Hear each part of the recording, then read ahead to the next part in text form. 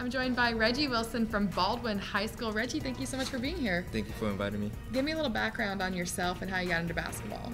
Well, I got, I got into basketball from uh, my dad, which was a basketball player Ed White, and he uh, teach me basketball at a young age. So I just fell in love with the sport. Fantastic. What do you think your team's strengths are this season?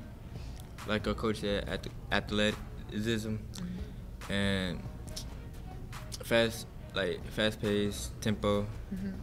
Great. What are you most proud of about your team? We're we're very um, can't think of the word at the moment, but um, tight knit. Yes, ma'am. Mm-hmm. Very good. Well, good luck this season, Reggie. Great Thank talking you. to you. Thank you so much.